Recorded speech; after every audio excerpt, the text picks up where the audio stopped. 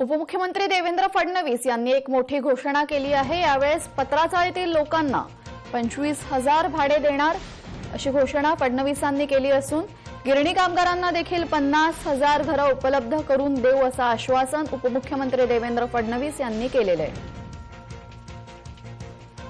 उपमुख्यमंत्री देवेंद्र फडणवीस यांनी घोषणा केली आहे पत्राचाळीतील लोकांना पंचवीस हजार भाडे तर गिरणी कामगारांना पन्नास हजार घरं उपलब्ध करून देणार असल्याचं आश्वासन त्यांनी दिलेलं आहे.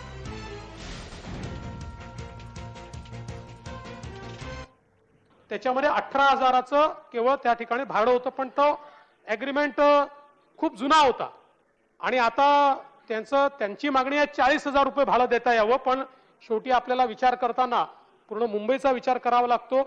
त्यामुळे बीडीडी चाळीत आपण बावीस हजार भाडं दिलं. त्यांची मागणी आहे की आम्हाला वाढीव भाडं मिळावं.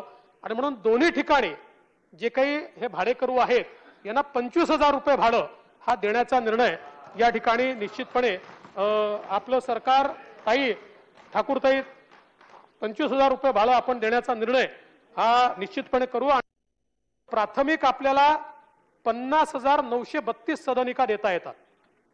त्यामुळे हा जो काही प्रस्ताव आमच्याकडे आलेला आहे माननीय मुख्यमंत्री आणि मी या प्रस्तावाला आम्ही मान्यता देऊ आणि गिरणी कामगारांना आत्ता हे जे प्राथमिक आपल्याला पन्नास हजार घरं देता येतील असं वाटतंय यातले जितके फिजिबल असतील पन्नास हजार असतील तर पन्नास हजार.